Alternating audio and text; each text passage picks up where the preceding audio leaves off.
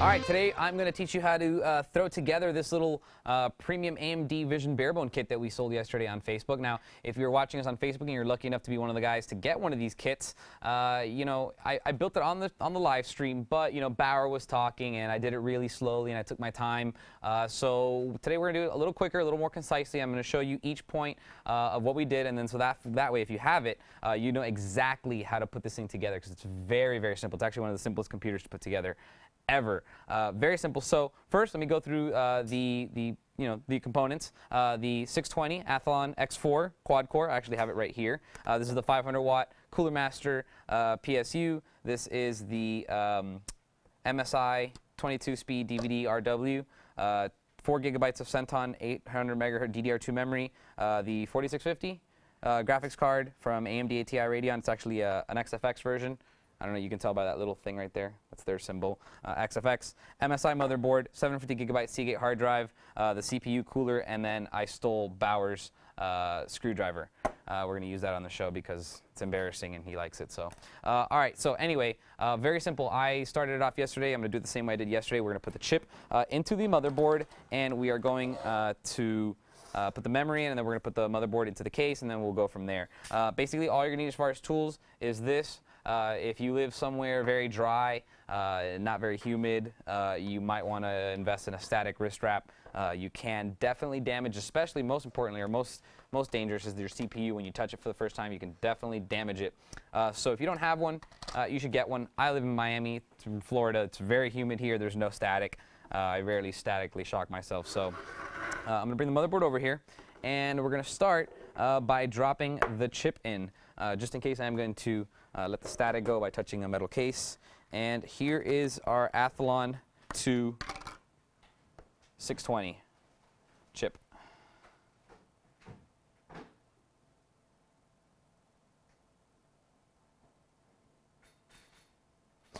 And we're going to go ahead and you're going to see right in here on the socket, on the AM2 socket, there is a little uh, lever. And that lever, you're going to open it up.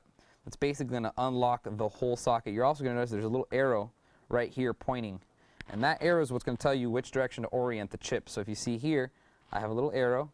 There's a little arrow, and it's basically telling you you want to drop it in just like that. So it's really easy. Just line it up, and you're going to feel it just fall right into place. Uh, you maybe want to get a little press, but you probably don't need it to just fall in. And then you just want to just very gently lower this handle and lock it into place. Once that's it, you're good to go. It is done. Now, uh, the fact that I just touched that means that I put a little bit uh, of the grease from my finger on it. You definitely want to clean that off before you put the thermal grease, and then on top of that, put the CPU cooler. Uh, that little tiny bit of grease, you imagine it's just like 0.000 millimeters uh, of, of lift of grease on top of the chip and you want that surface to be as flat as possible. You want the thermal grease uh, to be transferring all the heat from the internal heat spreader of the CPU uh, to the CPU cooler uh, or heatsink as much as possible. So definitely clean that off. All right, next is the thermal grease. Basically, if you bought the kit, it already has the pre-applied grease on the bottom of the heatsink, so you don't really need to apply any. Uh, because we've taken this thing apart twice already, I'm going to reapply with a tiny little bit of uh, heatsink thermal grease. And I'm just going to put like about a pea amount size, very small. You don't need to put a lot. People always put way too much. Uh, you don't need that much. Now, mounting the CPU cooler is very, very easy. Uh, I'm just going to show you real quick. It doesn't really matter which way you orient it because there are these tabs and they're going to pretty much uh, make you only orient it one way. Uh, so basically what you want to do is just drop it right on top. Uh, you don't have to be super gentle, but maybe just a little bit gentle. And once it's on top, you're going to see these two tabs on each side. So, so here's this first tab. You're going to push it down. Oops, make sure it's unlocked first. You're going to push it down. It's going to lock in. Then you're going to flip it over to the other side. You're going to push that one. See, that one's locked in now. And then you're going to flip this. That's going to tension it down. Uh, now, while it's tensioned down, I usually like to, like, you know, jiggle it around a little bit uh, and make sure that make sure the the thermal compound spreads all the way to the edges. It doesn't have to actually cover the entire CPU because the actual chips uh, on the CPU are only like right in the center of the entire big chip. It's the internal heat spreader on top, and the actual processors are really small and they're right in the middle. Um, but I still want to get it even, so I do that a little bit. And then the final step uh, for mounting the CPU is to uh, use the 4-pin adapter, and you're going to mount it to the motherboard. Now, most motherboards have a 3-pin adapters on them. Some of them have 4. Uh, in this case, you do have a 4. You want to use the 4 because that lets the motherboard control uh, the CPU fan. And it's right there. I'm going to plug it in. And there we go. That part is taken care of. If you want to kind of like hide this little cable Uh, you know, you can kind of like scoot it off to the corner, you know, kind of squeeze it in there. Uh, if not, it doesn't really matter. Next step is going to be installing the memory.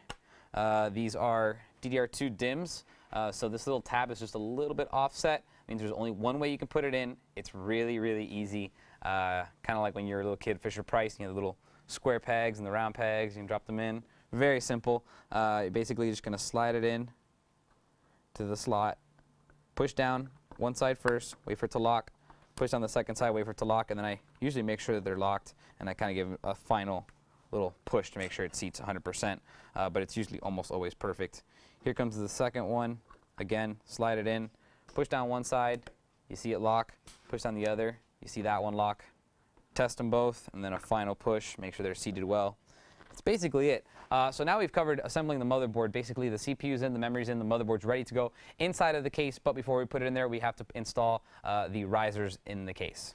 Okay, now this case already has pre-built-in risers, so you don't really have to worry uh, about putting a whole ton of them out. You actually need to put in two. The rest of them are kind of already built in. Now, the ones you want to do, uh, they're actually labeled AM and M, uh, and that stands for ATX and micro ATX. But basically, uh, I'm going to screw this one over here, and then the next one is going to be this one right here, uh, right in the middle. So the two that are coming from the PCI expansion slots directly across. Once the risers are in, your next step is to install uh, the input-output shield, which is right over here. Uh, basically, this is it right here. You want to make sure that it lines up. You want to, you know, maybe take a look at your motherboard if you're not 100% sure. The orientation of your motherboard is this is the top. This is the top of the case.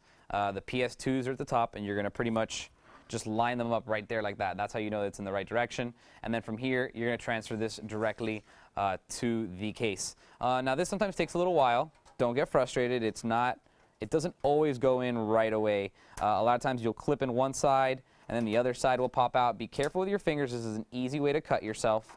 Uh, once it's in, you'll know. It'll all click in, and you know you'll you'll be ready to go. Um, so that's how you install the input-output shield. And once that's done, uh, you're basically ready uh, to put in the motherboard. All right, so here goes the motherboard.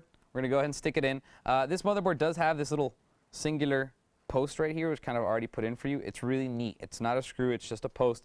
It's going to line up the rest of them, so it's really easy to put the screws in. Um, so here goes the motherboard. I'm going to line it up uh, with the input-output shield. As you can see, everything is lining up. And then basically, you're going to just push it in until it hits that tab, or until it hits that little post. And once that post goes through, See it right there? Basically, uh, now everything else is lined up. You can put all your screws in really easily, and it's not going to be that hard. Uh, so let me go do that, and I'll be right back with you. Okay, now the motherboard's installed. Um, the next step I want to do is actually plug in the header for the fan. Uh, it's really simple. There's a, it's a three-pin, kind of just like the one the CPU had, except minus one of the pins. Uh, and there's definitely a bunch of different headers on the board. Um, so I'm going to go ahead uh, and install this.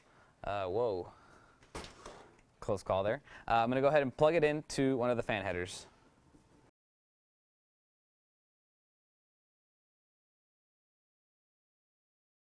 All right, now that's installed. Uh, the next step is actually to put the hard drive in. Again, really simple. You have these uh, toolless drive bays here. They don't even have screws. Uh, you just loosen this, slide the drive in,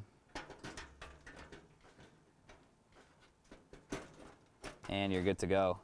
Very, very simple. Uh, try to get the holes to line up, and then you put the tab right back in.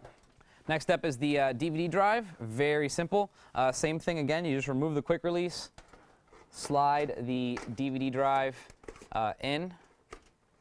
You got to make sure that it uh, goes all the way in. You're going to see when it's you know perfectly in, uh, the holes are going to line up right there. And once those are lined up, you can basically drop in the quick release and you know screw it back in.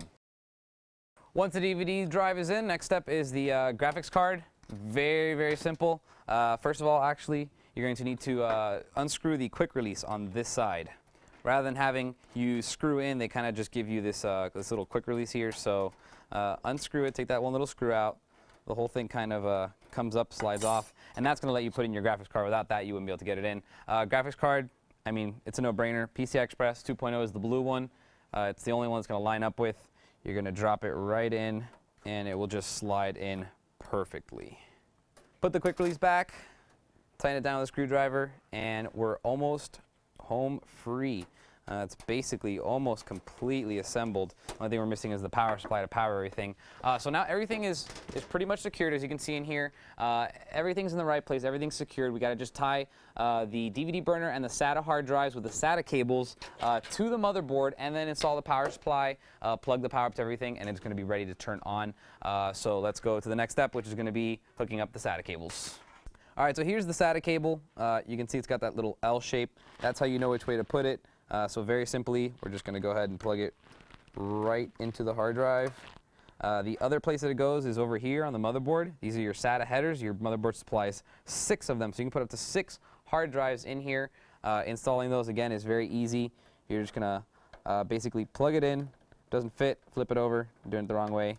There you go. Very, very easy. Now, I like to kind of hide the cable a little bit. We're not going to do a lot of cable management on this case, but you know, if you want to be a little bit more particular with your cable wiring, you can feel free to start zip tying and making it really pretty. Uh, the next one is going to be the DVD drive. The step is going to be identical. We're going to get the SATA cable, we're going to match up the little L, and we're going to plug it right in. Uh, now again, here's the other end. It's going to go into the motherboard. It can go anywhere on the motherboard. It can go below this one, over here, down there. It really does not matter. Your computer does not care. Uh, the SATA is all interchangeable. And now the both the hard drive and the DVD drive uh, are plugged into the motherboard. Everything is ready to go. So next, before we put in the power connector, uh, the next step is going to be basically to do the front panel. Uh, now this is like the second to last step pretty much. It's not even really a step, but it's basically going to hook up the USB ports, the eSATA, uh, and the, you know, the, the sound for the front panel connectors, the power and reset buttons. It's going to hook them all up. Here's where you need to have your manual. Inside of the manual for the MSI motherboard, uh, there's a diagram that shows you uh, exactly what pins are what. Co. So here's the power LED. We have the power switch. We have the reset switch. And we have uh, the hard disk drive LED activity lights. You need to find the pin for each one of these and make sure that it goes into the right pin uh, on the motherboard. Also, uh, included in this little bundle of wires are two fatter wires, kind of rainbow colored. Uh, this one is a USB so it's going to plug into the USB header, and this is the HD audio. It's going to plug into the HD audio, and uh, I'll show you where those are right now. First thing we're going to plug in is the USB. Uh, there is four headers on this board. It's a lot of USB ports that you can add to this motherboard if you so desire.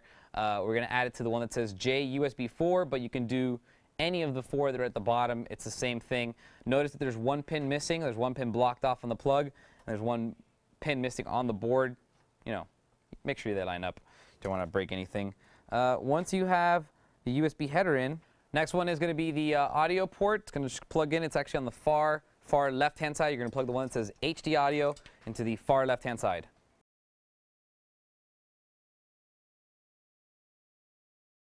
Now here's the part where you need to have the actual manual. Uh, on page 15, you're going to see a wiring diagram. I don't know if you want to zoom in here real quick, uh, but basically it's going to tell you uh, what pin goes where for what connector and just kind of orient it based upon that missing pin. You're going to see that missing pin that has uh, no pin on it and then there's a reserved number 9 next to it. That's how you orient it.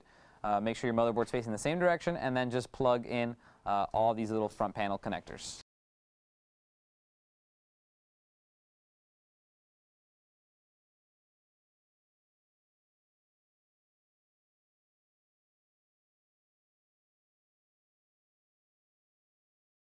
All right, final step is to install the power supply. Uh, it's pretty easy, but it's probably a little bit more complicated.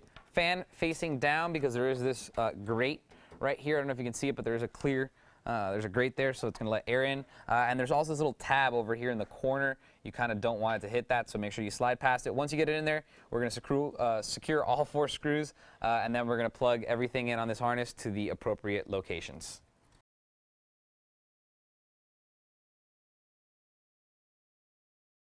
You're almost home free. The first thing you're going to want to plug in uh, is the 20 plus 4 uh, motherboard connector. This is the motherboard power. Basically, you're going to be using both of these. It's a 24-pin motherboard. And uh, just make sure that it clips in all the way. The clip right here is going to be facing out. Once it's uh, nice and secure and the little tab hits, that means you're good to go. You can move to the next step, uh, which happens to be the 8-pin, or actually in this case it's a 4-pin. This is the 12-volt power. This is what powers the CPU uh, or the processor. Now this motherboard only has a 4-pin, so you're going to use one of these. It doesn't matter which one. And it goes to the top left. So if you can't find it, top left, there's a 4-pin connector, and that's where it's going to go. uh, same deal. Just plug it in, make sure it looks good.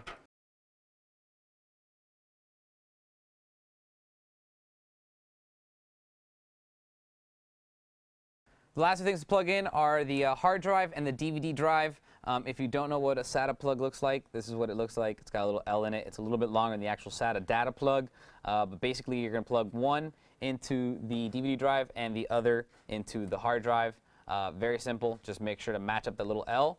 And uh, that's basically it. Very simple. Once you finish this, your system is pretty much done. So let's finish it up.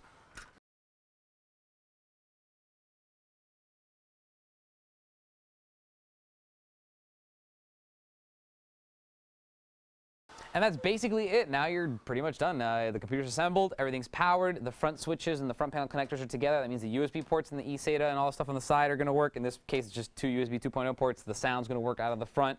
Uh, the power and reset switches are going to work, and the whole thing is ready to turn on.